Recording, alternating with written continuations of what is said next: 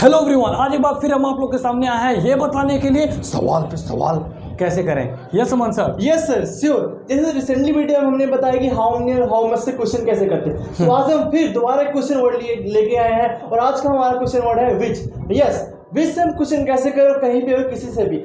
ये ओनली हम आपको क्वेश्चन करना ही नहीं सिखाएँगे बल्कि जवाब देना देना भी सिखाएँगे कि विच से क्वेश्चन कैसे करते हैं और उसका जवाब कैसे देखते हैं पूरा डिटेल में आज इस वीडियो लेक्चर में हम देखने वाले हैं so Aman sir are you ready yes sir I am exactly ready I am so curious All right, I'm also ready. So let me tell all the things, okay? Okay. मैं छोड़ेगा नहीं साला Alright, चलो मैं character में आ गया था Yes, okay. So जैसा कि आप लोगों ने सुना कि अमन सर ने क्या बोला आज एक बार दोबारा हम लोग लेके आए क्वेश्चन वर्ड और इस क्वेश्चन वर्ड के थ्रू आपको बताएँगे कि क्वेश्चन कैसे करते हैं उसका जवाब कैसे देते हैं और वो हमारा क्वेश्चन वर्ड क्या है.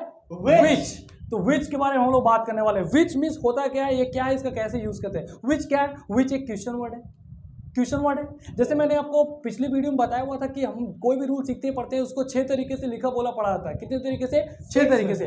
First second third fourth fifth and six पहला दूसरा होता है जो हाँ ना में जवाब देते हैं। तीसरा चौथा जब उसको यस नो टाइप स्ट्रक्चर कहते हैं। यस नो टाइप स्ट्रक्चर मतलब जब भी आपको जवाब केवल हाँ या ना में चाहिए तो हम थर्ड स्ट्रक्चर से क्या करते हैं? क्वेश्चन करते हैं। अभी फ़िलहाल जो हम लोग बात कर रहे हैं क्वेश्चन वर्ड्स की तो ये फिफ्थ और सिक्स स्ट्रक्चर्स में यूज़ होते हैं। तो विच का मतलब क्या होता है? कौन सा? ये हमारा क्वेश्चन वर्ड है। और इससे रिलेटेड जब क्वेश्चन हम पूछते हैं लाइक क्वेश्चन वर्ड्स रिलेटेड जब भी क्वेश्चन करते हैं तो वहाँ पे केवल हाँ या ना में जवाब देने से काम नहीं चलता है। वहाँ पे रीजन पूछता है क्वांटिटी पूछता है और भी सारी चीज़ें पूछता है। तो विच का मतलब क्या होता है? कौन सा जैसे पिछले वीडियो मैंने बताया था मन सर कि how many how much related जो भी आपको क्वेश्चन करना है तो जिसके बारे में आप पूछ रहे हो उसके साथ हम पहले बोल देते थे जैसे आप कितना पानी पियोगे? आप कितना पानी पियोगे? तो हम लोग कैसे ट्रांसलेट करते थे? How much water will you drink how much water will you drink यहाँ पानी के बारे में बात कर रहे हैं तो हाउ मच के साथ तुरंत हमने क्या कर दिया पानी के?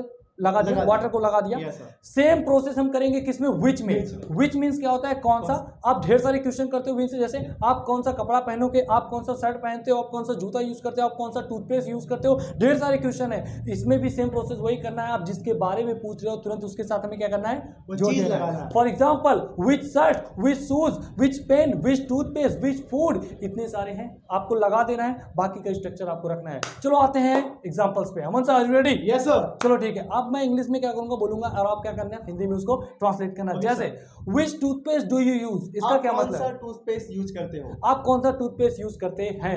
Which shirt do you wear आप कौन सी शर्ट पहनते हो? Alright that's great which bike did did he purchase वो कौन सी बाइक खरीदा? वह कौन सी बाइक खरीदा। Alright which fruit will you eat आप कौन सा फ्रूट खाओगे? आप कौन सा फ्रूट खाओगे?